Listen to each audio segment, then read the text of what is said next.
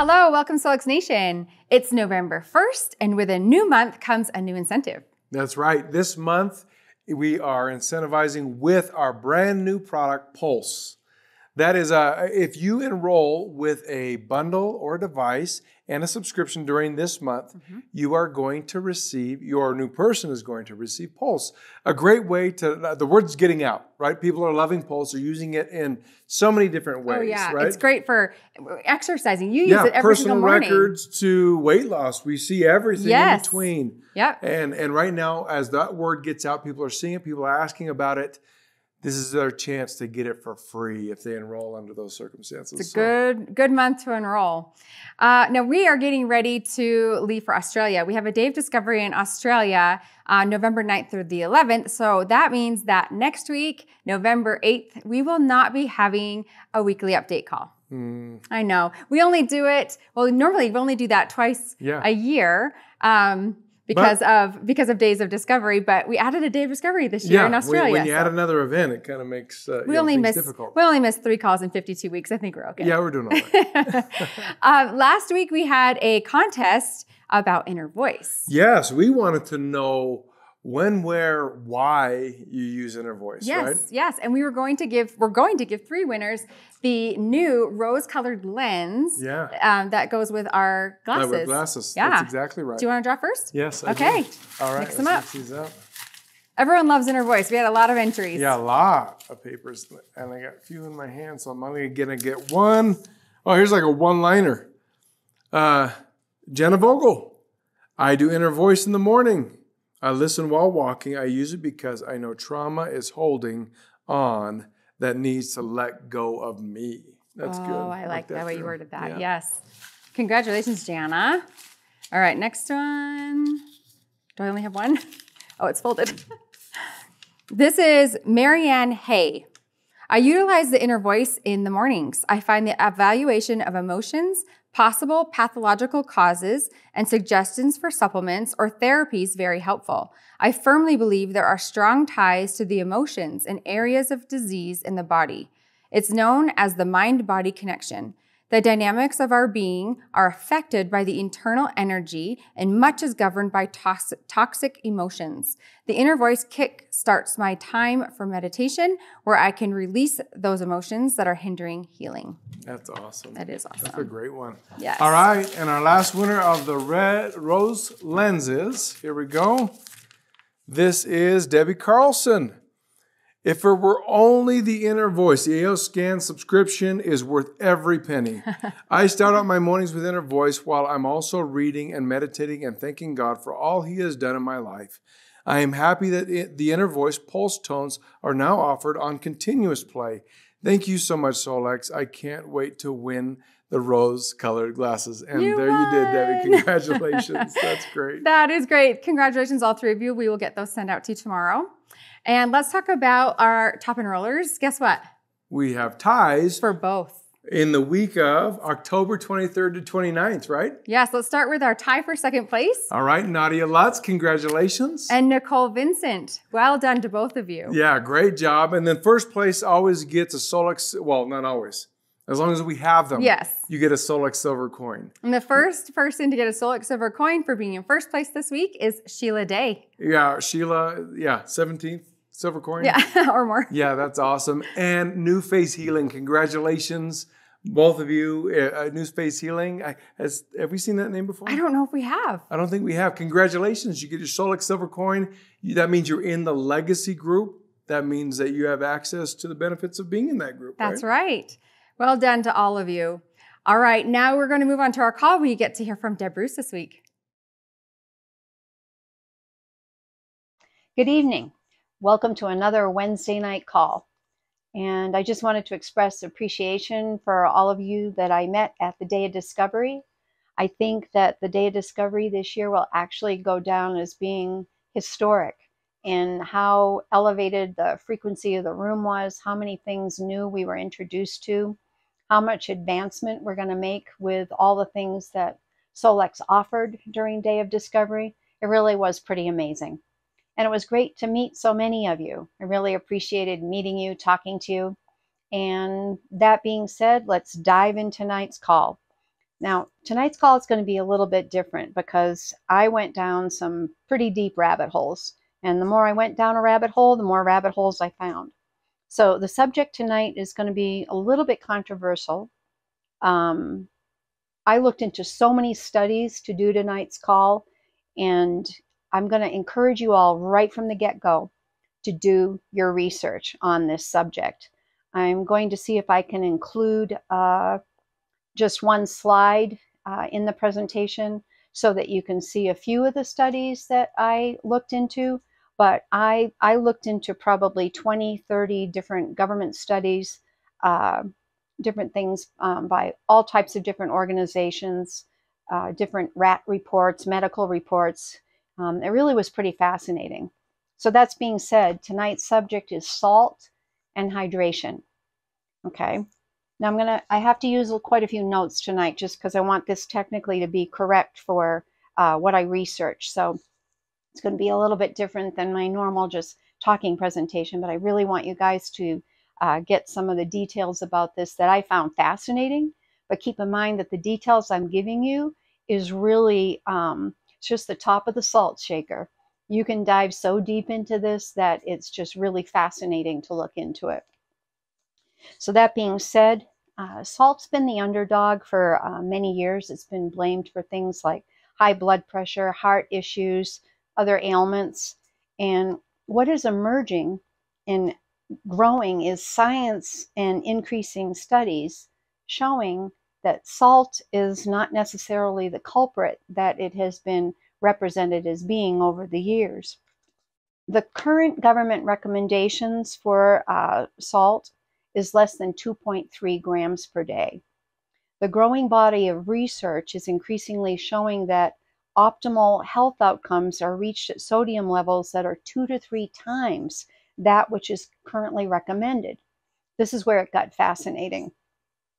There was a 2011 JAMA, J-A-M-A study with evidence that four to six grams of daily sodium was linked to lower risk of heart attack and stroke than sodium intake in line with the recommendation from government agencies, which is that 2.3 grams that I just mentioned a minute ago.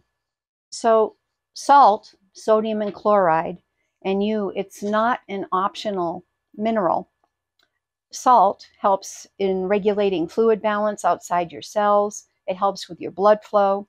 It conducts nerve impulses in your nervous system and your brain. It's instrumental in, in helping actually maintain blood pressure and it helps transport nutrients through your gut. So, how is this actually um, accomplished? Well, salt's a combination of electrolytes. And electrolytes are substances that, substances that have a positive or negative electrical charge when they dissolve in water.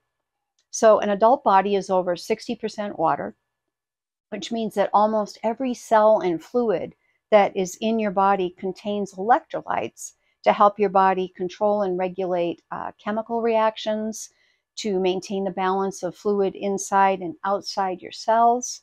And you can start to see the connection between sodium and water, right? So, salt is sodium and chloride. Sodium has the positive charge, Chloride has the negative charge. When you put them together, they balance each other out. However, when you dissolve them in water, what they start doing is they start conducting electricity.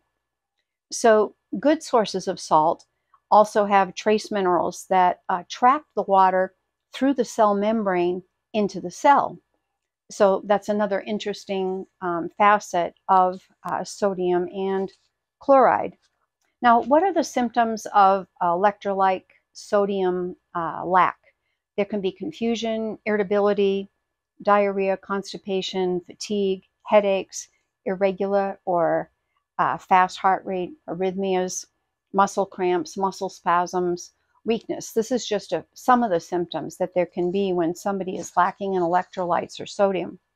One of the results of, of, of research is that people are becoming more aware that they have the need for good hydration. Many are complaining, however, when they increase their hydration, that they're constantly having to use the bathroom. We've kind of talked about this before on other Wednesday night calls, but let's reiterate why. the water isn't being utilized correctly by the body. This will show up in your scanner as an issue in the adrenal glands, uh, in the PDFs as far as a one or a nine on aldosterone. It'll also show up as lymphatic frequencies, artery and circulation, volume frequencies out of balance. And your body systems report will over and over again say increase hydration. A lot of you have seen this in your body system reports and have thought that it was just a cut and paste that constantly just was a fixture in the report. It's not. The, the assessment behind the scenes is coming up by your brain that there is the need for more hydration. So there are a number of components that can play into this, and one of them is sodium. So good hydration is not gulping down water. Uh, research shows that gulping down too much water too fast can actually be harmful. In some cases, it has actually resulted in death with some athletes as far as just gulping down massive amounts of water really quickly. So we've heard over and over again, oh, drink your eight cups of water a day, eat, drink your eight cups of water a day. But one of the glaring omissions in that in that recommendation is in fact electrolytes. So you've got sodium, you've got potassium, you've got chloride, you've got magnesium, you've got calcium, you've got phosphate, you've got bicarbonates. Just gulping down tons of plain water can actually imbalance those electrolytes. Good hydration is actually having enough water, but at the same time having balanced electrolytes. So there's some different factors to this that play into this equation. And one of them is diet. And recently, over the last number of years, we've seen a lot of people doing uh, low carb and ketogenic diets. So, what's happened with that? Well, a low carb diet keeps insulin low, and that consequently makes your kidneys excrete sodium at an increased rate. So, sometimes people on the low carb or ketogenic diets are actually lacking in salt, sodium, and chloride. Paleo and whole food diets uh, prior to changing their lifestyle and going to paleo or whole food diets, processed foods often were up to 70% of a person's uh, lifestyle.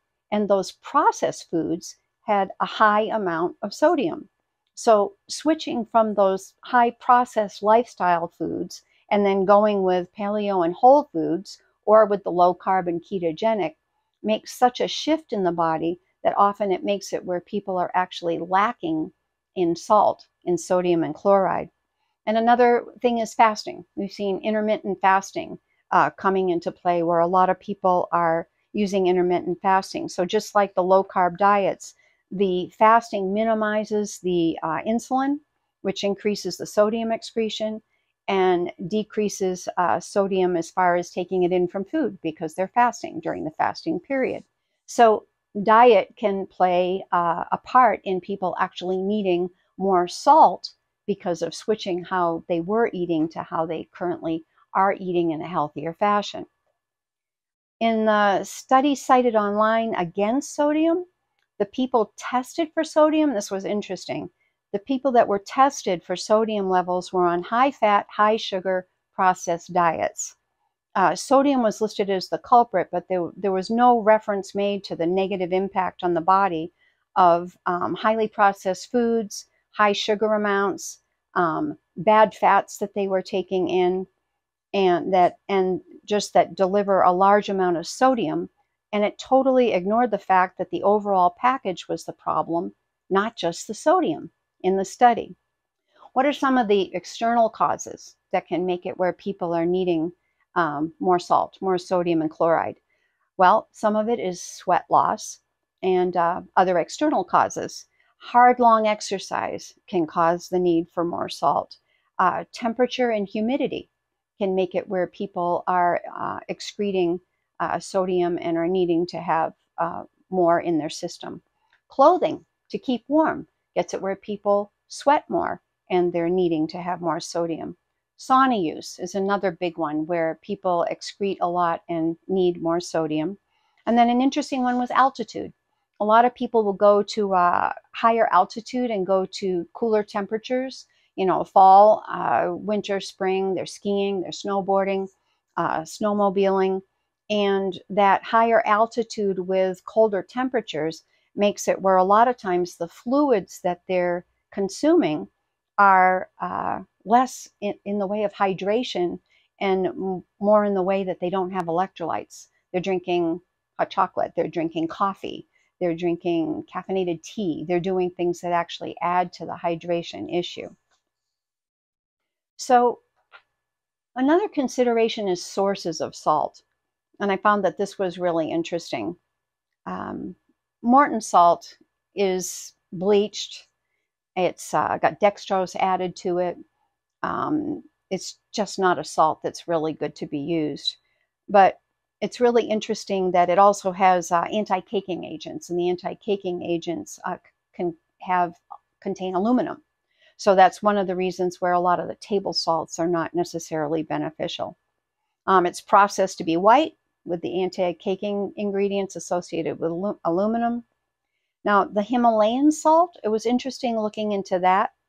Uh, Himalayan salt is actually mined outside of the Himalayan mountains. It's kind of not exactly where it comes from. But the interesting thing about it is that there's all kinds of different mining techniques. And those mining techniques between blasting and machinery and uh, other ways of mining it can make it where some of the uh, Himalayan salts have a lot of heavy metals in them. A lot of the Himalayan salts can test as having contaminants in it.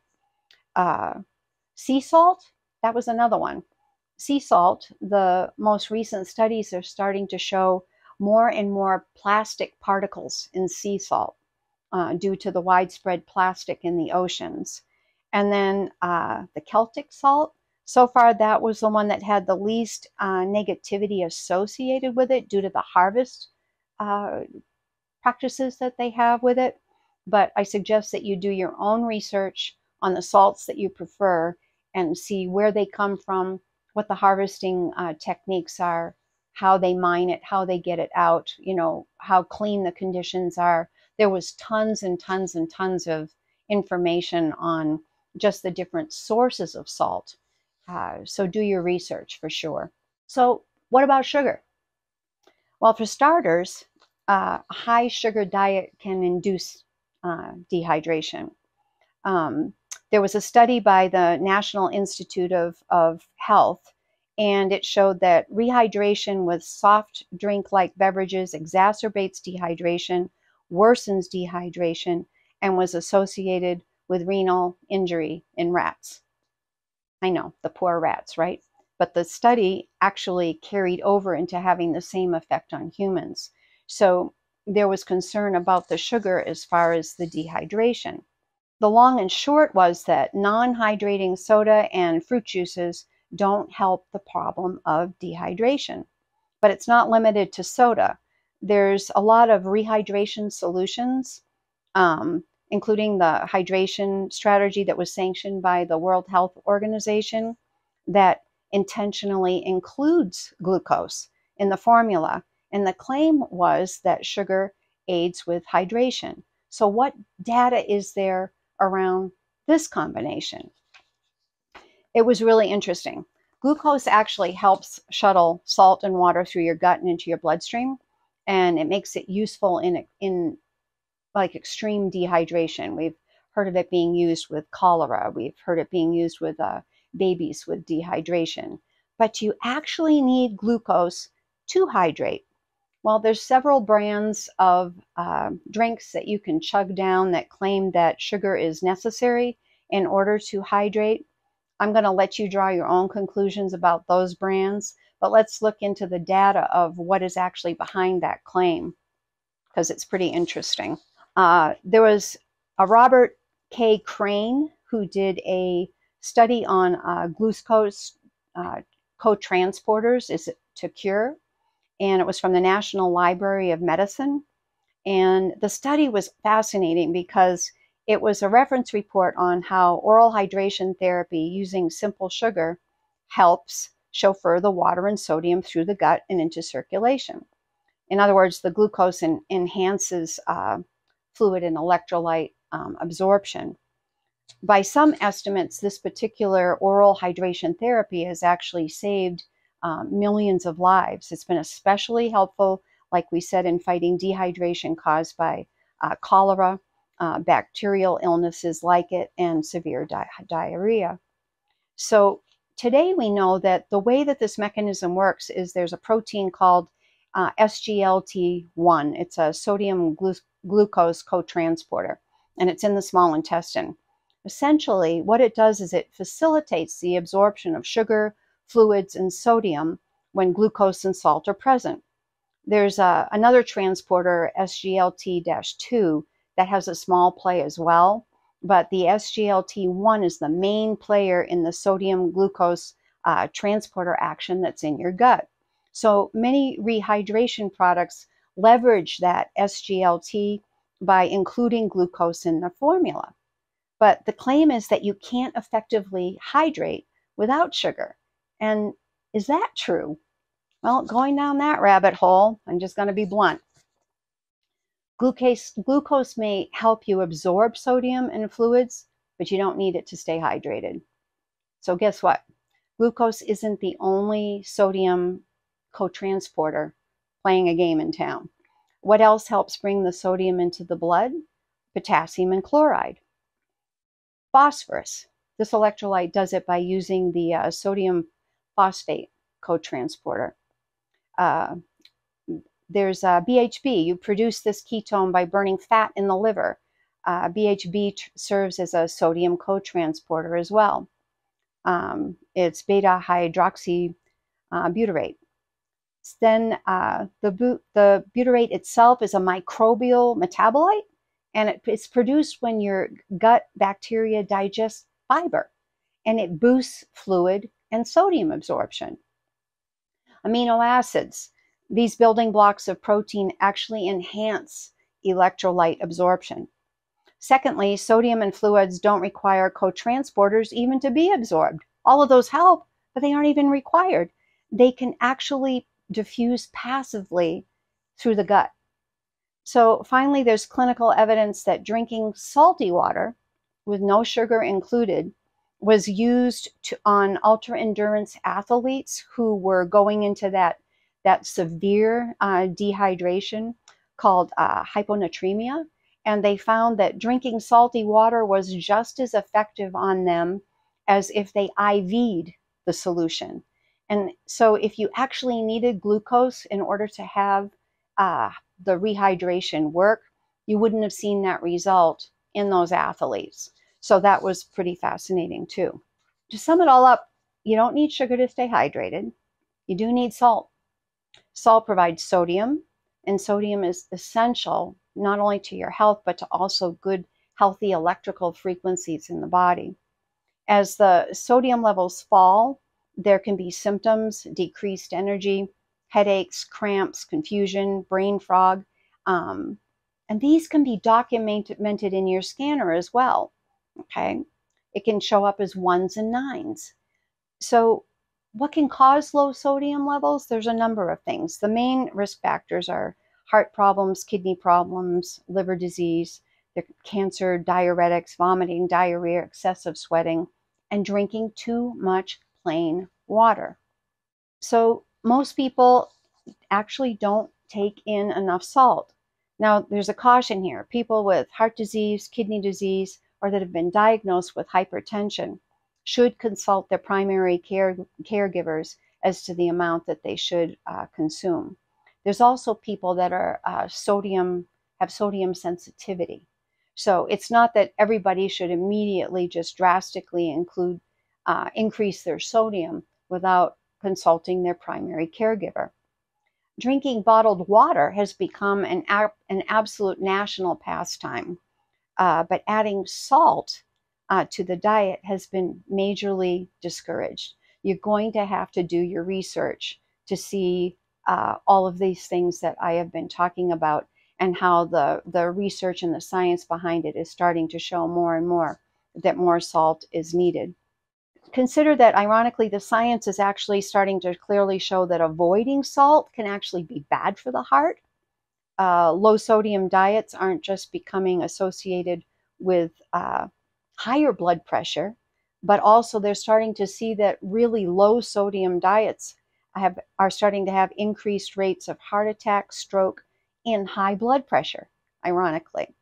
So consider uh, for yourself that you may need more salt, not less, good salt. If you're hesitant about the uh, statements that we're making tonight, research yourself and just see for yourself the emerging scientific evidence uh, for actually consuming uh, more good salt. So, magnesium and potassium are very helpful with salt. You can check in your scanner each day and see if you're lacking in either one. And even if you're needing to supplement with magnesium or potassium in order to facilitate the um, function of salt in your body. Pay attention to your body system's reports. If hydration keeps showing up and showing up and showing up, that you may actually need more sodium and you may need to, once again, you may need to uh, supplement with the magnesium and the potassium. Eight, eight glasses a day of water has, has always been kind of an arbitrary guideline, but when you really consider it, if you're drinking soda, coffee, tea that dehydrate, are you sweating a lot? Are there cold weather issues that are making it where you're reaching more for dehydrating drinks, like we just talked about? Do you exercise at high sweat rates? Listen to your scanner. Your brain is smart and it is going to give you indications if you need more salt, more sodium and chloride. So think about dropping the sugary electrolyte drinks. Do your research. You may need to just add a pinch of really good salt to the water that you're drinking.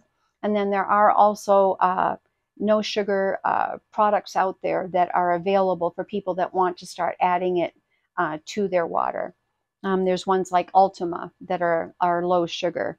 There's uh, an excellent company called LMNT, the letters LMNT, that has tons of the science in it that I presented tonight and has hundreds of links to, to go into the different uh, studies by the, the different um, medical societies and and just do the research and get even more information for yourselves.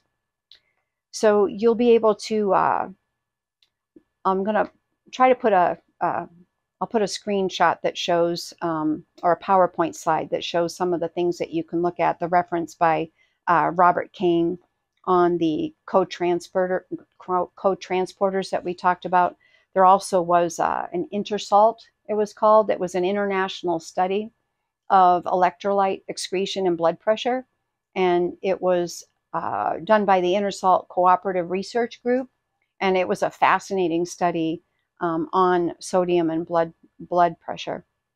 Interestingly, the, the uh, World Health Organization recently did a 99 page review of sodium.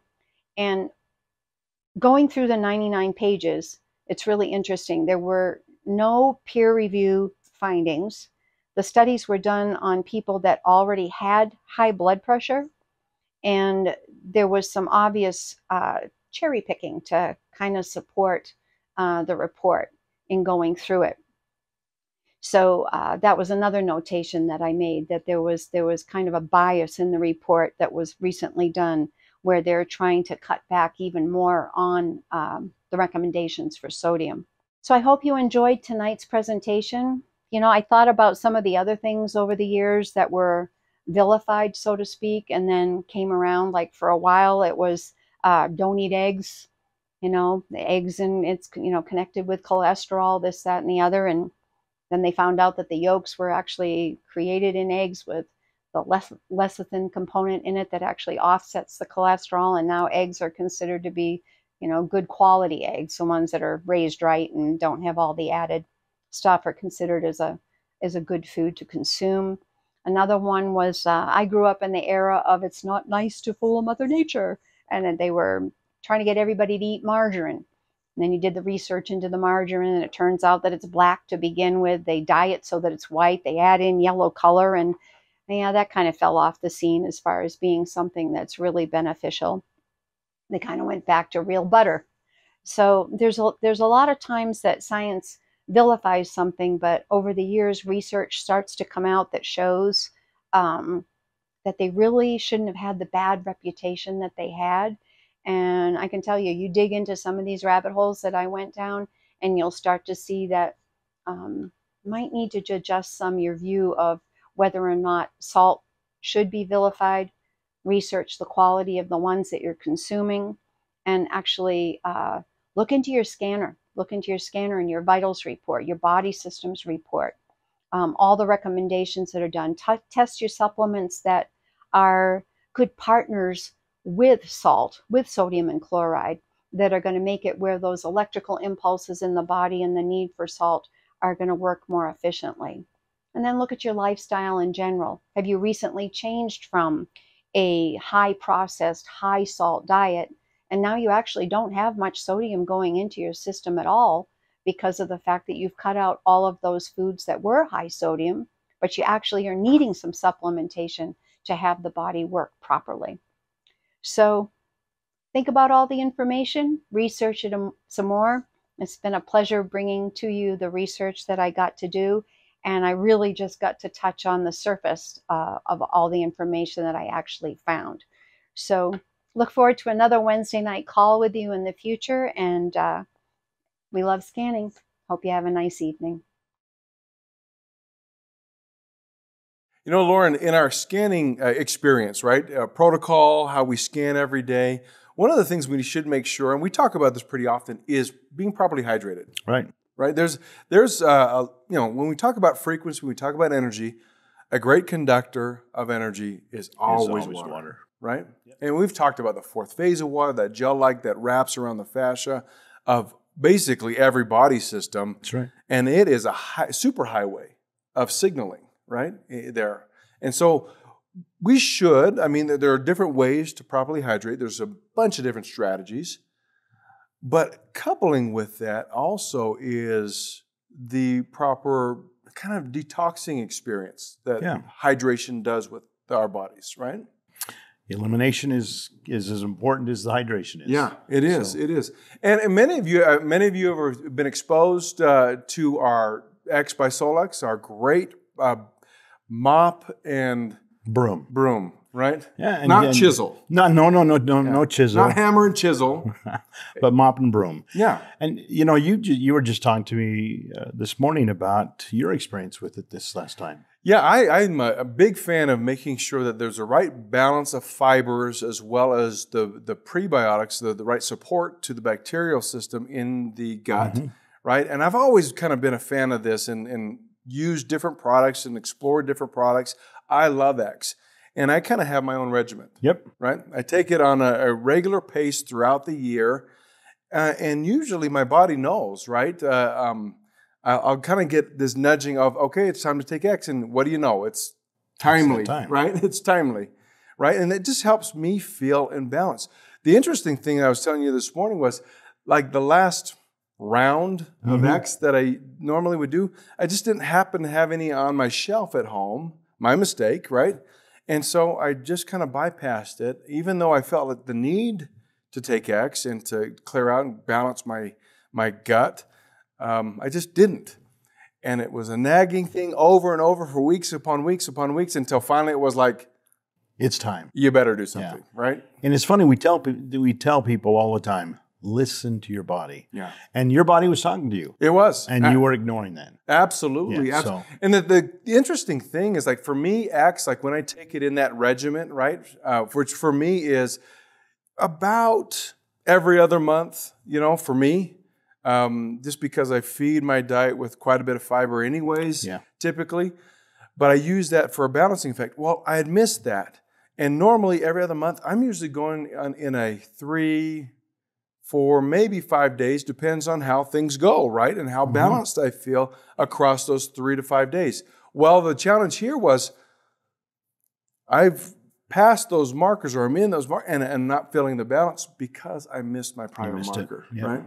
Yeah. Well, that's a long way to say, hey, look, what if we, how about we give away X, right, as part of the hydration effort? Tell us how you utilize X. You know, what's your what's your protocol? What's your regimen for using X? How often would you use X and, how, and, and is it more frequent? Is it less frequent? One thing we do want to tell people, in this case, less is more. Yeah. So it's not something you want to do every day. No, No, So no. And, and a real key is if uh, you know if your bowels get pretty loose, That's your indicator. that's your indicator. Like time to pause. Let's let's uh, we- we've done enough, right? Yeah. We've done enough because what you're trying to do is balance the gut so that you have massive absor- massive absorption in that area of the body, which is what you need, including hydration. That's right. And that's the key. When you're taking X, make sure you get a good 12 to 16 ounces of Yeah. liquid water with that. Yeah, I usually mix it and then I'll clean out my glass with a little bit more water, and then a mm-hmm. little bit later I'll chase it again with That's another 12 good. ounces. Just that's my my thing. So comment on this call, not on the live chat, but on the call. What is your what is your protocol for using X? How do you use it? In what pace? How frequent? And how what kind of duration? What are you looking for in order to know that X is effective for you? And how it's affected your life, how it's influenced your life. Yeah, I think that that's fantastic. And next week we'll draw a name and we'll give away Three. three next week. All right, everybody. Thank you. See ya.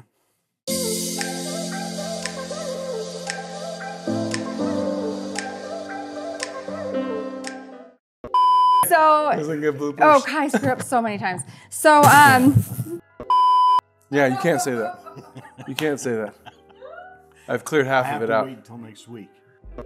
When we're just having a regular scanning experience, the couple. Scratch that. Let's, let's rewind. You know, Lauren, one of the things that we should do as part of our, our protocol with scanning is making sure we're properly hydrated. Yep, properly hydrated and properly.